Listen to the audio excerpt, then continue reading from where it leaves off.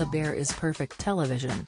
After catching audiences off guard with a thrilling, sentimental and charming first outing last year, the FX comedy drama wasted no time lining up a follow-up. Season 2 had a high bar to clear after the level of acclaim it generated with its first outing. It's now picked up several Emmy nominations and has become one of the network's most watched shows. Thankfully, the bar is cleared with flying colors as The Bear's second season surpasses all expectations, and it's finally all available on Disney+. Carmy, played by Jeremy Allen White, and Richie's, Ebon Moss-Bachrach, partnership is just as enthrallingly intense as ever and every member of their team gets the chance to shine. The premiere opens with a hard-hitting family twist for Marcus Brooks, Lionel Boyce, while Sid, Ayo Edebiri, wearily shoulders more responsibility at the restaurant, now named The Bear.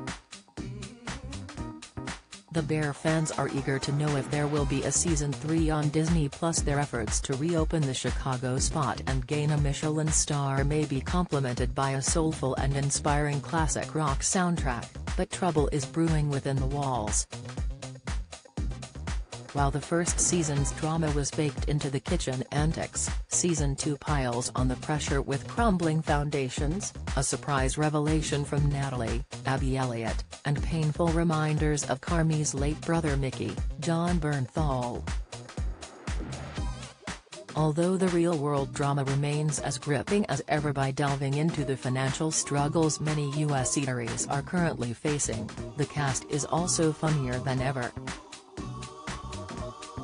Edebiri has emerged as a major comedic talent over the past year and even the most intense scenes of bickering or strenuous maintenance can be blindsided with a sharp zinger from Richie or Neil Fak, Matty Matheson, at any moment. Don't miss. Vin Diesel's Fast and Furious feuds, from Dwayne Johnson to Jason Momoa, explainer, The Bear's Lionel Boyce was surprised when he met guest star Will Poulter, exclusive, Hollywood stars snapped on strike, from Kevin Bacon to Hilary Duff, pictures, there are plenty of delicious culinary respites, though, with the latest batch of episodes often affecting a soothing, washed-out tone like a momentary lapse in a violent storm. After just two seasons, The Bear already feels iconic. It may not be as essential as Game of Thrones was a few years ago, but few shows are addressing the present day with the same level of empathy and sophistication. Each character feels whole, each space lived in, no small feat for a 10-episode season with episodes mostly under 40 minutes. Its economical storytelling is effortlessly naturalistic. Each conversational scene feels like the viewer has casually walked in on a snapshot of two or more real friends and co-workers, a miracle when the drama feels so heightened. The Bear's second season quickly lets its fans know they're in safe hands, with a punchy soundtrack featuring the likes of Fine Young Cannibals, Rem and Squeeze,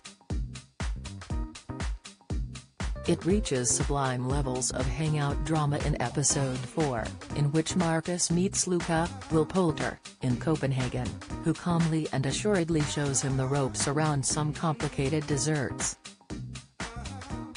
There are more exciting guest spots to come later in the season, too, but Christopher Storer and the writing team's scripts are so immediate and gripping the gallery of famous faces never distracts from Carmy and Co.'s core collaboration. It's slightly disappointing that Disney Plus has opted to release all 10 episodes at once when this is a series that would benefit from more measured viewing. But, if our biggest complaint lies within its release schedule, it's safe to say we're dealing with the cream of the crop. The Bear Season 2 is available on Disney+.